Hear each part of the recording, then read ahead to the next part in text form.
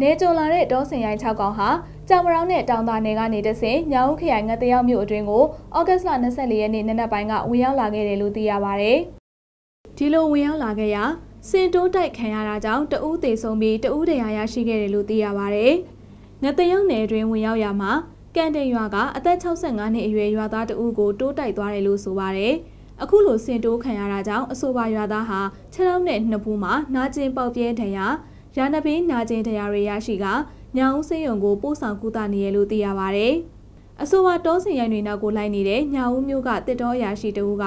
လောလောဆယ်မှာကြောက်ပရောင်းတစ်တော်ညောင်ဦးတစ်တော်ရုံးချုပ်ကအဖွဲ့တွေဟာစင်နာကိုလိုက်နေပြီးစင်နာမှာနေမြေကန်ရဲတပ်ဖွဲ့နဲ့အတူတာဝန်ရှိသူတွေစောင့်ကြည့်နေတယ်လို့နနက်9နာရီခန့်ကပြောကြားခဲ့ပါတယ်။မိုးလွဲတနာရီခန့်မှာတော့ငတရောက်နယ်ကနေညောင်ဦးတောင်ဘက်တောင်စင်းနယ်အတွင်းကိုအဆိုပါစင်တွေရောက်ရှိနေရလို့သိရပါတယ်။။ ဩဂတ်စ်လ24ရက်နေ့မွန်းလွဲ2:15မိနစ်ခန့်မှာ